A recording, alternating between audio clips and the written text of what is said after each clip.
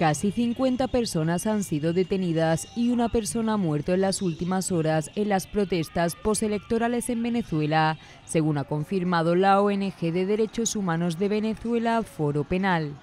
A este balance se suma que al menos 23 efectivos de la Fuerza Armada Nacional Bolivariana han resultado heridos en el marco de las protestas que han tenido lugar en varias localidades de Venezuela, en protesta por la polémica reelección de Nicolás Maduro en los comicios celebrados este fin de semana.